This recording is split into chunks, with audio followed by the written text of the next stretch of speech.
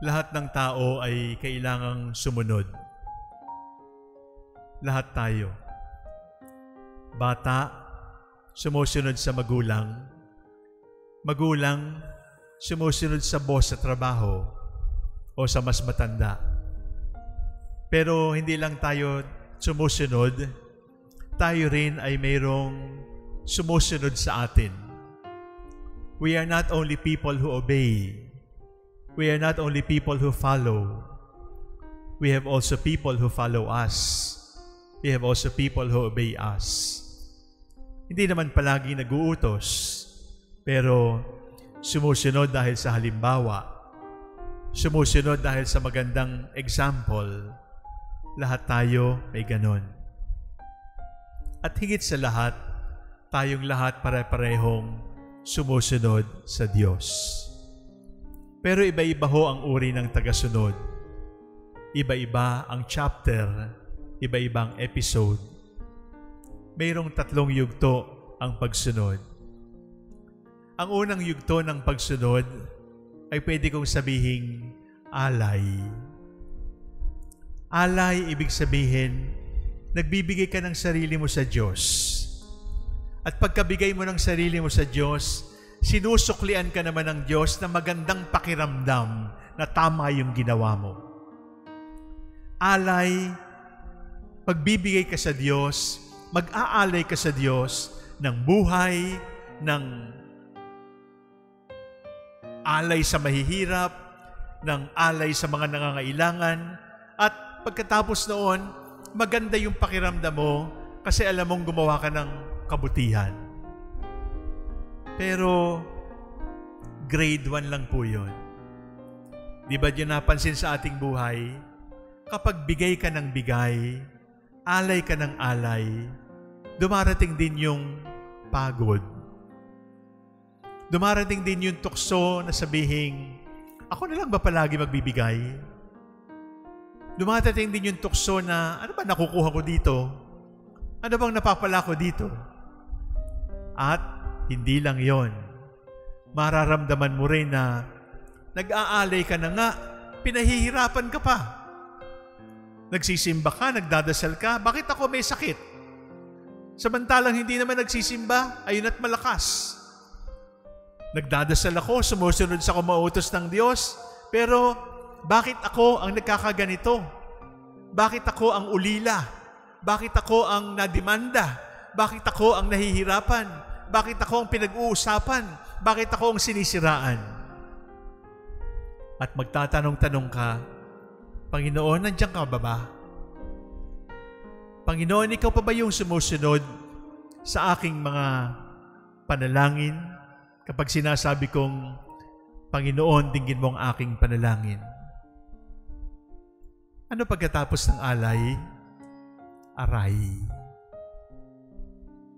Nasasaktan ka na at parang gusto mong sabihin, sandali lang, dahan-dahan naman.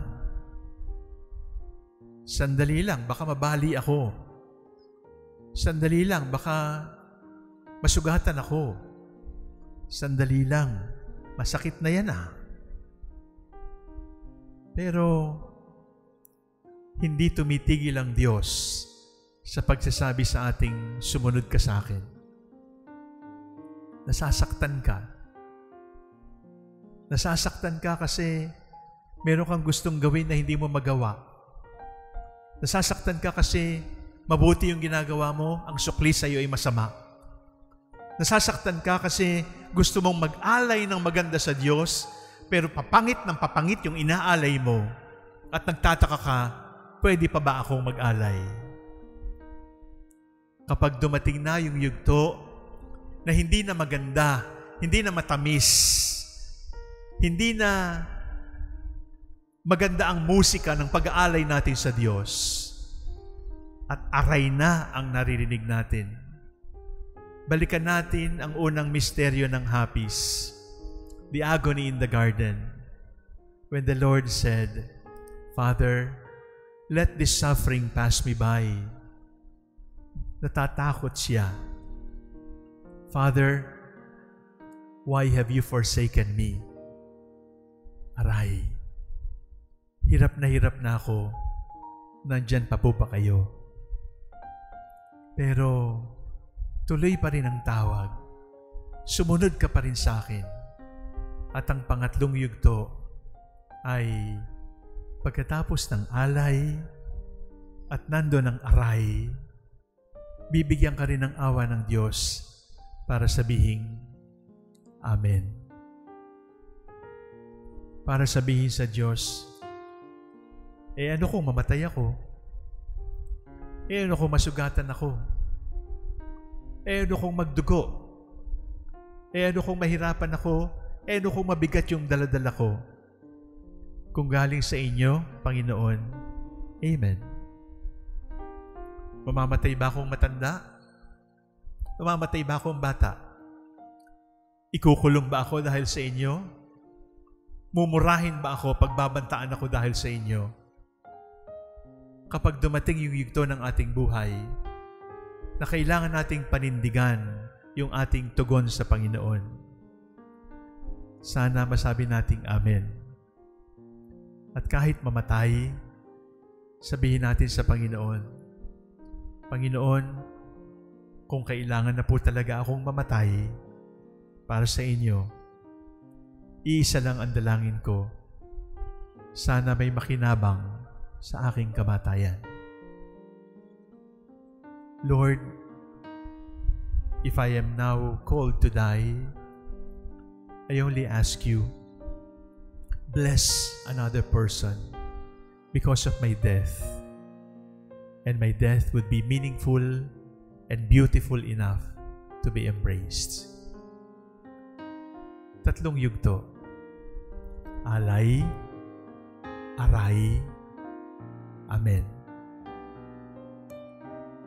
Minsan kung nasa alay tayo at masasaktan ka, pwede ka munang mag-relax, pwede ka munang magbakasyon at manatili ka na lang sa alay. Pero kung matapang-tapang ang loob mo, titiisin mo yung aray sapagkat alam mo na binubuo ka, hinuhubog ka ni Jesus. At kung sakaling aray na aray ka na talaga, at parang nangungulila ka na, tingnan mo lang yung nakapako sa krus at sabihin mo sa sarili mo, Amen. It is finished. Into your hands I commend my spirit. At kung tayo nga ay mamatay, at mayroong makinabang sa ating kamatayan. At kung tayo nga ay ilibing at may tumubo sa ating libingan, then we have really become disciples of the Lord. Ngayong araw na ito, ang tanong ko sa inyo ay, nasaan ka bilang alagad? Honeymoon, alay, matamis na pakiramdam, magaang pakiramdam. Aray, madilim, mabigat, masakit, tinitiis. O Amen. Masakit, mabigat, pero hindi na nagtitiis sapagkat masaya na ako sa aking pinapasan sapagkat alam ko hindi niya ako iiwanan. That is where God is. That is what discipleship means. Discipleship will not be easy.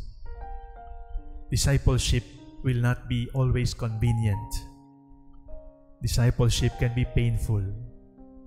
But if you carry on, you're going to be free from pain because your pain united with Jesus will set other lives free from sin. Nasaan ka? Alay? Aray? O Amen?